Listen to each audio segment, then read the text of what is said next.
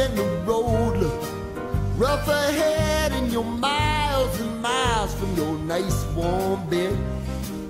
You just remember what your old past said, or you got a friend in me. Good morning, Gallup Hill School. Would everyone please stand for the Pledge of Allegiance? I, I pledge allegiance to the flag of the United States of America and to the republic for which it stands, one nation, under God, indivisible, with liberty and justice for all. Would everyone please remain standing for a moment of silence? Good morning, Colonel. Would everyone please raise their right hand and repeat the, repeat the BARC pledge with us? I promise to be accepting, responsible, and kind. Everyone may now be seated. It's now time for a morning announcement.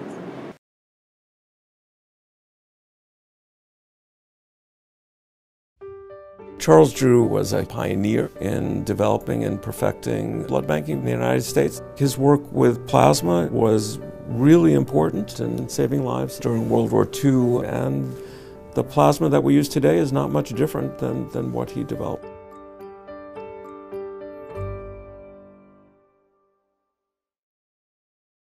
Charles Drew was an African American physician who trained in surgery.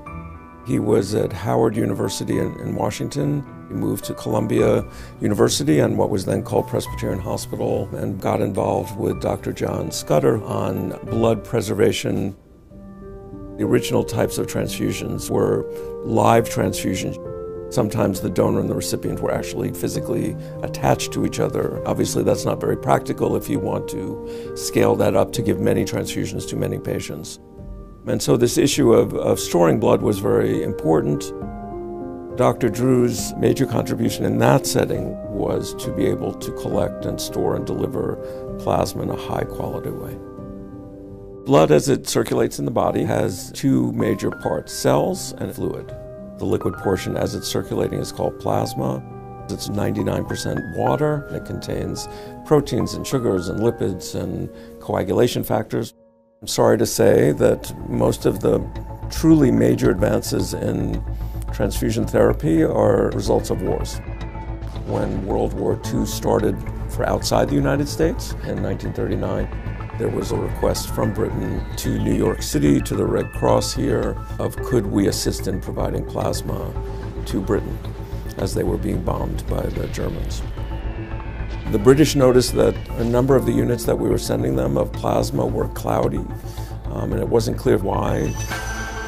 Charles Drew got involved and, and he used his scientific method to evaluate the quality of the way the plasma was being collected and prepared um, and, and added quality assurance methods.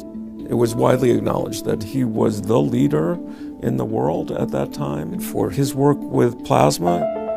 The armed forces in the United States were completely segregated at that time.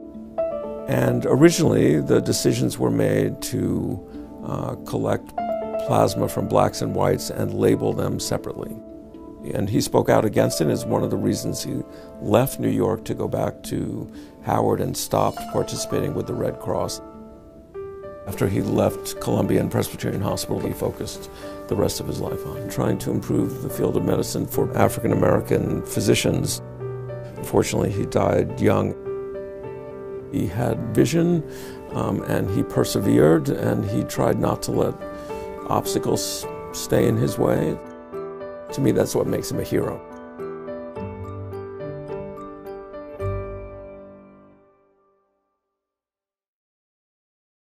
That's all for our program today. Thanks for listening. Thanks, everyone. Have a great day. Bye.